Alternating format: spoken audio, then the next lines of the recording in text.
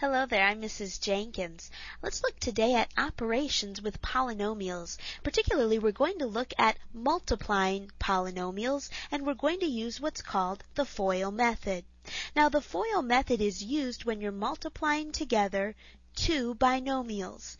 Binomials like a plus b and c plus d. When we multiply these two binomials together, we're actually going to be doing a lot of distributing. We're going to start by multiplying together our first two terms, and that f for first is the first letter in FOIL. It shows the distribution that's going on when you multiply your first two terms. Then you'll multiply that a times that d, and that's distributing and multiplying together your outer two terms. Then we'll distribute the b, b times c, and that's our inner two terms, the i in FOIL.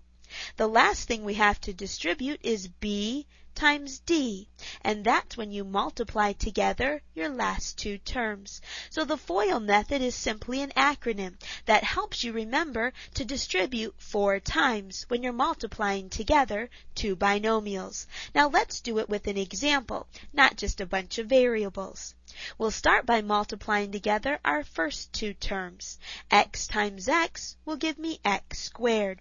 When I multiply x times negative 6, I'm multiplying my outer two terms, and I get negative 6x. Multiplying my inner two terms, the i is 3 times x, positive 3x. Then I'll multiply together my last two terms, 3 times negative 6, and that's negative 18. Now I can combine together any like terms, and oftentimes your outers and your inners here will go ahead and combine, giving us our final answer. x squared minus 3x, because negative 6x plus 3x will combine to be negative 3x, minus 18 and that would be the product of these two binomials. Taking a look at one last example here, I want you to work through it. Work through this using the FOIL method. First, outer, inner, last. When you've gotten your answer, click continue at the bottom of the screen.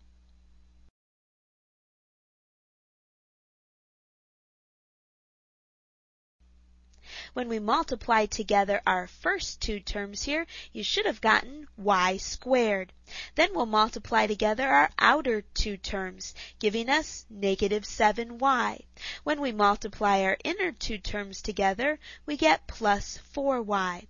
And our last two terms, 4 times 7 is 28, but that will be negative there.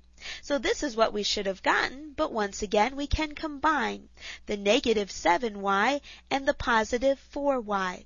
So the final answer will be y squared minus 3y minus 28. I hope that's what you got in working through that problem as well.